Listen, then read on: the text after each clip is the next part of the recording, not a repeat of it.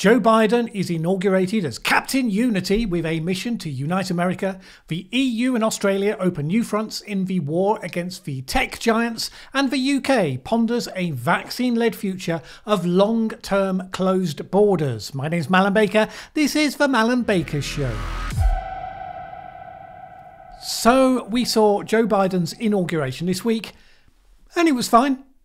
But to listen to some of the mainstream media, this wasn't just the inauguration of a president, this was the emergence of a new superhero, Captain Unity. Now, don't get me wrong, it would be a fabulous achievement, and he made a pretty decent speech laying out his determination to get the job done. But it's not as though we've not heard this before. George W. Bush billed himself as a uniter, not a divider. Barack Obama, in his first term, called on people to move beyond the differences of red and blue America. And, well, I don't recall any of those terms being specifically famous for their unity, because they weren't, of course. The trouble with calls for unity is that they're easy to make but what are we supposed to be unifying around? If unity means we won, so shut up and go away. Obviously, not unity. Mary Trump, for instance, said this. To be clear, unity is impossible if traitors like McCarthy, Hawley, Cruz et al. aren't held accountable with the severity their crimes against our country demand. Ah, yes, the unity of the French Revolution always ends well. On the other hand, what unity can't mean is that the governing party is supposed not to behave true to their political agenda. It's not democracy and it's not realistic. So, what does it mean to unify? Surely it's about treating each other as, in this case, fellow Americans. So you discuss and argue within the framework of mutual respect, understanding that reasonable people can disagree profoundly on matters of policy without bad faith or evil intent. And it's about respecting the rules of the institutions of democracy, including, of course, the protection of free speech, the right to be heard. If Joe Biden's going to achieve that sort of unity, it's his own side that is going to be as much or possibly even more trouble than the other. Right now, you have people calling for anyone and everyone who ever supported Trump in any way whatsoever to be made to pay. And you have people saying that Trump being thrown off all social media should be just the start.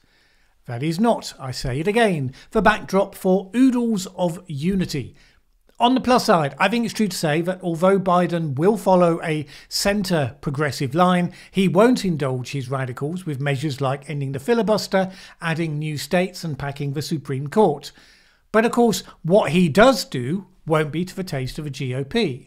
Even though Biden won't be kicking the hornet's nest every single day, like his predecessor liked to do, it is nevertheless built into the business model of the political parties and the partisan media to play up the outrage on a daily business. It's how they get their clicks. So it's not going to feel like unity, regardless.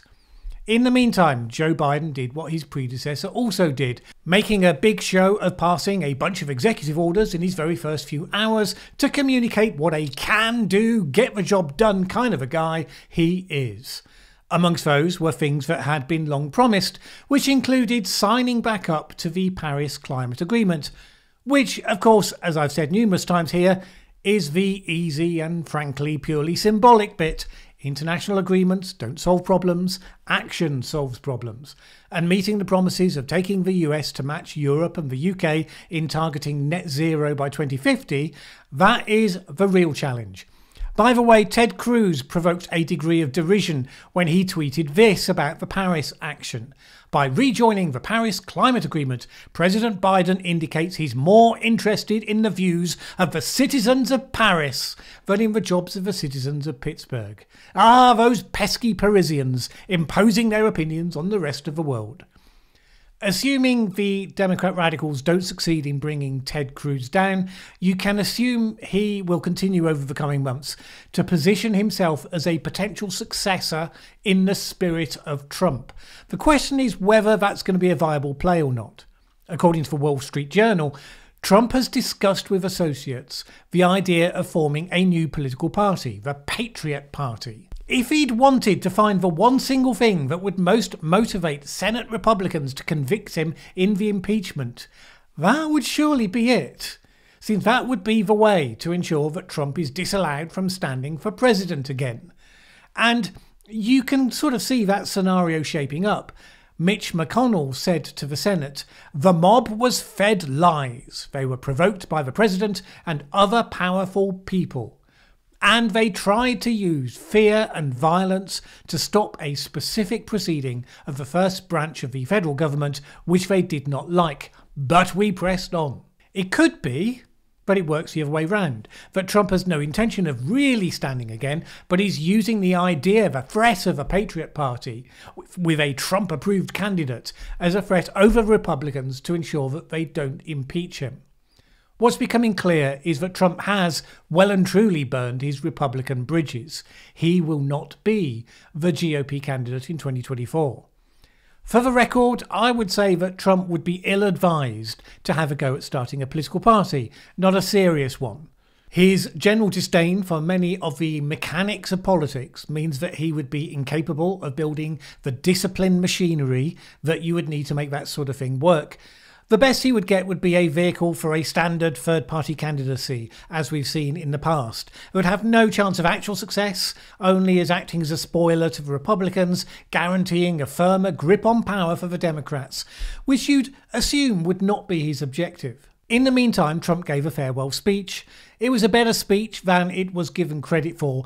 To be honest, if he'd given speeches like that through his presidency rather than blasting nonsense out on Twitter every five minutes, there's quite a good chance things would have been very different, and he would be leaving behind a stronger legacy, maybe whisper it gently, not even leaving at all. But then that was never going to happen, as Trump himself underlined as he flew out for the final time with the sound of My Way playing in the background. A comedy act right to the very last. The other question people have been asking is where does this leave the QAnon conspiracy theorists? They'd said that Biden definitely, definitely, definitely wouldn't be president. Ah, reality. Reality, that thing that happens even when you don't believe in it.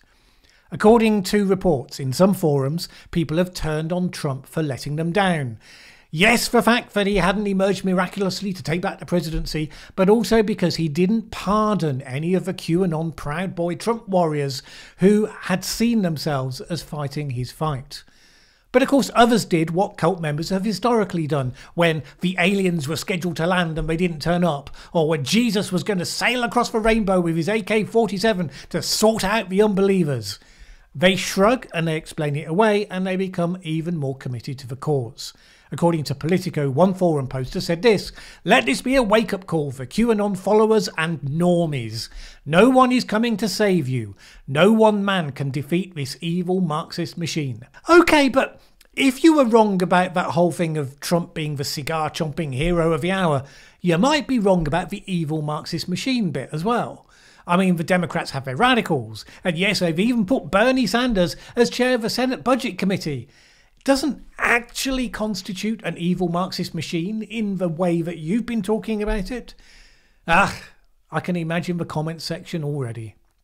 Well, in a minute, we'll look at some of the other news for the week.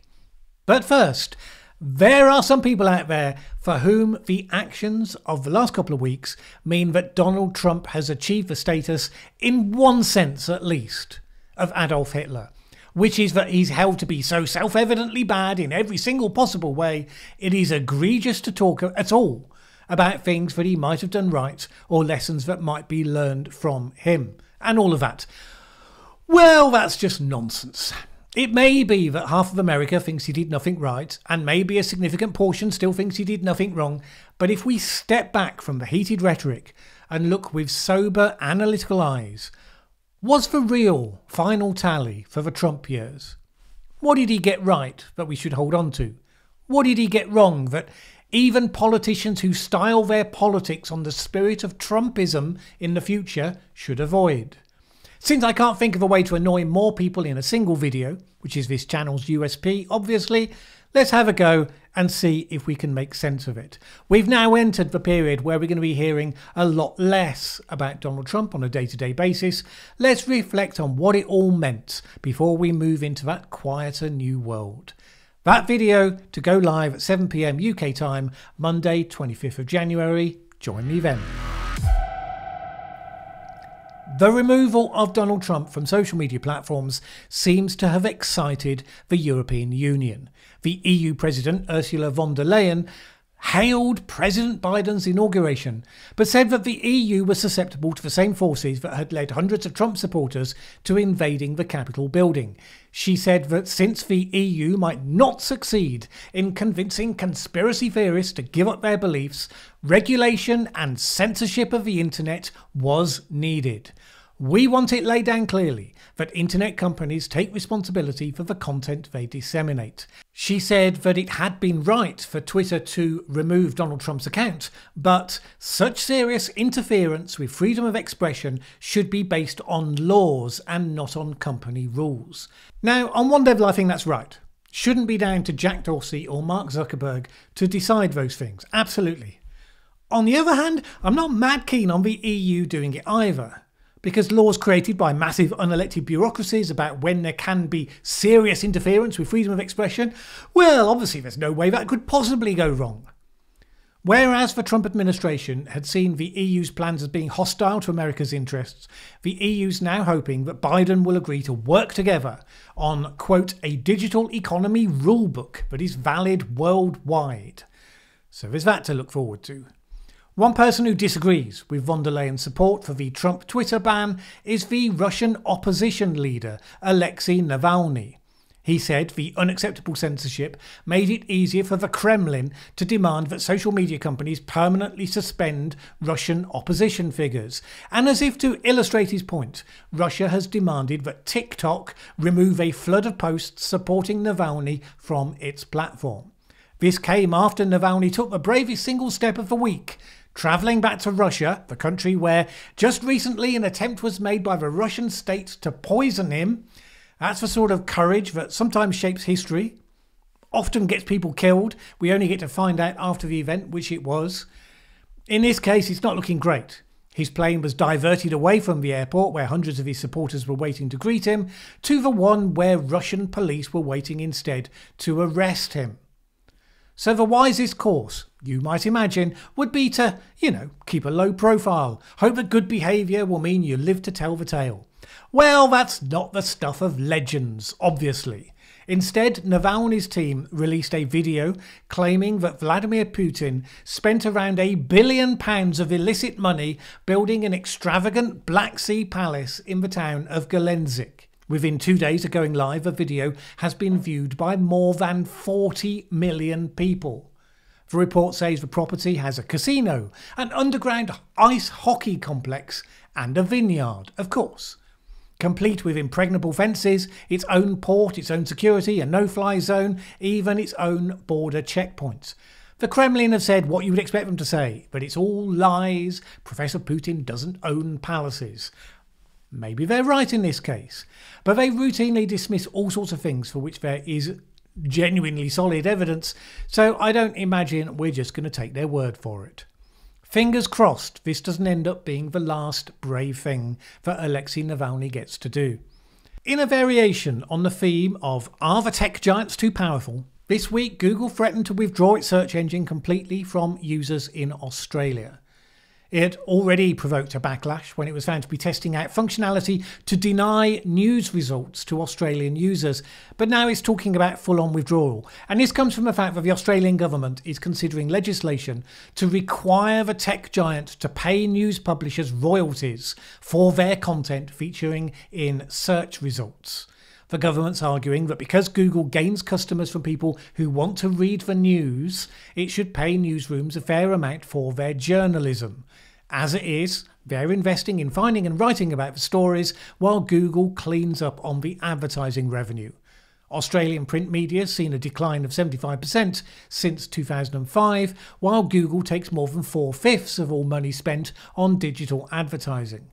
Google Australia Managing Director Mel Silva told the Senate that their proposed laws were unworkable and if brought in, it would give us no real choice but to stop making Google search available in Australia. Well, the government said this was the tech giant bullying Australia and suggesting that it was really about the fear that the country would be setting a precedent for others to follow. In other news, Spain is rejecting calls for tough new lockdowns in spite of warnings that its intensive care beds are full and infections have tripled. The coalition government of Pedro Sanchez has refused demands from some of the regions for lockdowns, saying that more rules will inflict too much damage on the economy. In the UK, reports are that the government's beginning to come to the conclusion that a vaccine dependent recovery is going to mean that borders will have to be closely guarded especially with the fear that new variants will emerge that can get around the protection of the vaccines. According to James Forsyth in The Spectator, the government's looking to the measures that have largely worked in Australia, which is seen as a parallel democracy and a possible model to follow. In Australia, entry is refused, except to residents and those with an exemption, and quarantine has to take place in a state approved facility. It would be an attempt to protect the domestic economy at the expense of business travel and tourism. Well, I'm not convinced personally. I've said here a number of times that the reason why early action in New Zealand and Australia why it was able to be effective was because of their relative geographical isolation.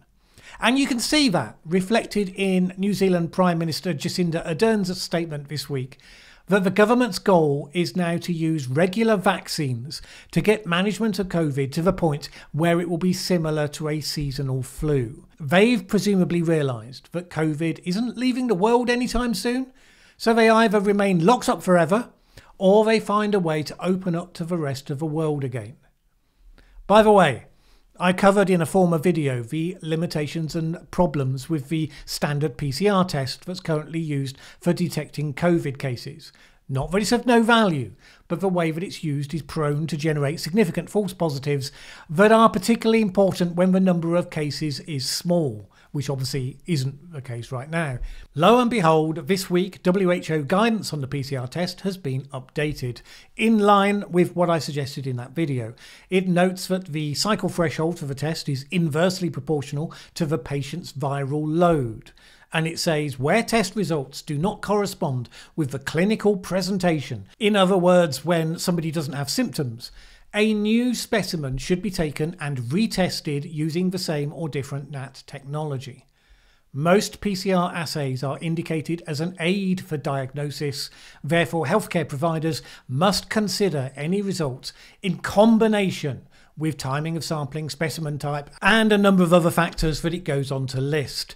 No, that still doesn't mean that PCR tests are worthless, as some people go around saying. It does give an official acknowledgement to the information I gave in that video, highlighting their limitations. Now, in a minute, we'll reply to a couple of comments, get to the final thought of the week. But first, I will be trying out something of an experiment Wednesday next week, UK time 7pm. I shall be trying my first live stream. Various people have been suggesting I should do one of those. We'll cover the topical issues of the day. I'll take questions from Patreon supporters in advance. There can be questions at the time on, via Super Chat. I've never done a live stream before. Hopefully, I won't mess it up too royally. It'll be an interesting experiment, one way or the other. So join me there to find out. 7 pm UK time on Wednesday. Let's see how it goes. This comment came from the How We Fed the World video. Only problem is that 9 million people die of hunger each year. 850 million suffer from chronic undernourishment, and who knows how much death and disease is caused by the harm from poor slash harmful nutrition of industrial food. Malthus and others were right. Millions die and billions harmed. The overabundance of low nutrition food is hugely harmful in rich nations. Now, I take the point about low nutrition food, but on the other hand, until the last couple of years, the West and most of the world has seen average life expectancy increasing year on year. And generally speaking, high quality life years added expectancy. So, whatever the problems there are with unhealthy types of food, whatever genuine problems nobody could dispute that we face, like the problem with obesity, it's hard to argue that our food and lifestyle have been so bad because if it had been, we would have seen the results in shorter lifespans, not longer ones. Mostly the problems that we have that need attention are down to increasingly sedentary lifestyles, growing levels of sugar consumption, not about the bulk of other foods that are eaten. So I think there's some work that could be done there to understand how you would build a better food culture that people would embrace. The traditional approaches of lecturing and nagging and guilt tripping and the like have been shown a deservedly low success rate. The next comment is from the Do Lockdowns Work video. Another question might be do lockdowns help the NHS to cope with the virus? In which case, the answer is almost certainly yes, they have. Yet another question might be would it have been more economical had this and past governments restructured the NHS and found a method to fund it sufficiently? In which case, the answer is not so clear. The first question in the context of a video would be Would the same protection of the NHS ability to cope have been achievable at lower cost by encouraging people to socially distance in a constructive and consistent way rather than by new laws? According to the research paper that I ended that video with, yes, it would. Some scientists would disagree with that, so keep an eye on how that research develops. But as I also mentioned, ultimately there are limits to what's politically possible the UK has had one of the highest death rates in the world on COVID, in spite of the fact that it's done a fair share of locking down. The government would have been unable to resist the pressure to fall in line with the rest of the world. The only thing I think that would have made the difference would have been if Sweden had been the first European country to get the virus after China. What they did then would likely have set the standard for the rest. It was because Italy followed China and they did the whole lockdown thing that other democracies suddenly realised that such a thing was even possible. As for the second part of your comment, to do with the structuring and funding of the NHS, well, I wonder. The thing with any public health service is that whatever you put into it, it's never going to be enough. There are so many very expensive treatments for all sorts of ailments, and especially as we, luckily, fantastically, have an aging population, which is a good thing, but with the extra years come extra ailments. You can never have a service that is going to meet all of the needs. However well organised you are, you're going to optimise for dealing the best you can with the standard pattern of ailments that come your way day in, day out. For once in a blue moon pandemic, that suddenly demands so much more resource in one place, so much more infrastructure on preventing cross infection and all of it, that's going to be very quickly pushing your system to breaking point. From what I can see, the US system, the UK system, the German system, all very differently structured, but nevertheless had exactly the same pressures once numbers got high enough. I'm sure that we could have been more prepared. I'm not convinced that any changes that we'd have made would have made really that much difference. The three wise monkeys see no evil, hear no evil, speak no evil. You might think that's timeless wisdom. Places like Twitter and Facebook would be much more attractive places, let's face it, if people could take it to heart. The University of York in the UK has a more surprising take on it. This week it decided that the three wise monkeys instead constituted an oppressive racial stereotype and it pulled an image of them from its website to avoid offence. Upon reflection, we strongly believe that our first poster is not appropriate as its iconology promulgates a long standing visual legacy of oppression and exploits racist stereotypes. Uh, nope. The Three Wise Monkeys first became popular in Japan in the 17th century. They're associated with the Tendai school of Buddhism, where they're seen as helpers for divine figures, sacred beings in their own right, vehicles for the gods. None of that matters, apparently. A spokesperson for the university said that it had been removed because the image of monkeys has been used in a derogatory way in the past. Not this specific image, not the three wise monkeys, just, you know, some monkey, any monkey. We're now apparently unable to see the image of a monkey in any form without seeing it as having some sort of racist connotation. We don't have an instance of that in front of us, just the belief that somebody might be offended sometime in the future, and that in spite of the lack of intent, that theoretical possible offence in the future is sufficient for the content to be withdrawn. it's interesting to reflect upon because we've seen people in the US this week wondering how you could deprogram people who believe in conspiracy theories and do so by removing bad content online. You've had Ursula von der Leyen of the European Union wondering about what legislation could be brought in to police social media to remove fake news to stop people from believing things that aren't true. And then you've got the realization that along with the genuine made up nonsense about Trump defending the US against networks of paedophiles, there's a bunch of made up things that these people and organisations would likely end up defending through censorship. At what point would you get removed from YouTube for pointing out that the three wise monkeys are not a symbol of racism? We know that some people have already been removed from Twitter for saying that a trans woman is not in reality a biological female. People who would extend censorship to look beyond the fact that these are monkeys and whatever they in all their own minds believe comes with that image and reflect instead on the old wise message that they were meant to convey. See no evil, hear no evil, speak no evil. It's not a call to censorship. You can read it that way if you're so minded but it's a call to self responsibility. Very important not to get those two mixed up.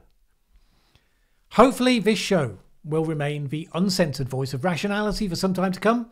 YouTube hasn't demonetized videos for several weeks now, in spite of my expectations a couple of times. If you're on Facebook and you want to support the show, you might want to like the newly set up Facebook page for the show. Be sure to share content on there that you think your friends and contacts might appreciate. YouTube algorithms don't do a great deal to help build this show's audience, although it is happening slowly. So, anything you can do to spread the word, to reach people who will value this sort of content, it will all be very helpful. Most important, of course, are the good people who support this show on Patreon. Without their support, it just wouldn't be possible to commit the time to producing three videos per week, or indeed to tackle the important topics that YouTube advertisers might be squeamish to be seen alongside. If you would like to join them in supporting the independent, fact focused, and non ideological content that I aim to produce here, please go to patreon.com forward slash Mallen Baker. There have been a number of you that have done that this week, and it is always appreciated. Either way, have a great week. My name's Mallen Baker. This is The Mallen Baker Show.